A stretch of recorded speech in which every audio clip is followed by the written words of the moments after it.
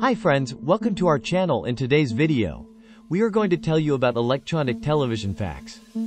Electronic television was first successfully demonstrated in San Francisco on the 7th of September 1927. The system was designed by Philo Taylor Farnsworth. Thanks for watching please like share and subscribe to our channel. Don't forget to press the bell icon to get notifications for new videos.